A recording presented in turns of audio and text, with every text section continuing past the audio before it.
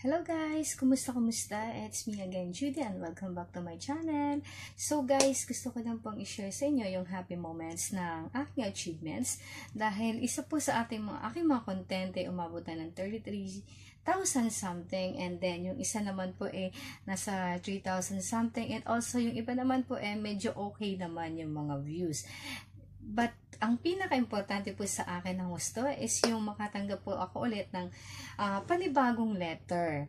So, ito po yon So, ang nakakatawa po talaga kasi guys, eh, in just a month and achieve ko na po ito. So, maraming maraming salamat po.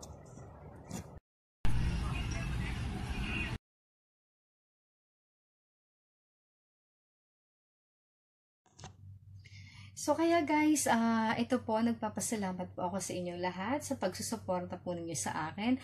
Sa mga hindi naman sumusuporta, nagpapasalamat pa rin po ako sa inyo dahil nakuha ko po itong achievements na ito. So, sana po, uh, don't forget palagi na like and share ang aking mga, ang aking channel and, and also subscribe po.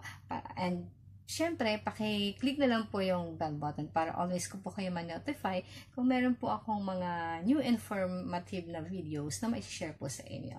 So, see you on my next video. Bye-bye!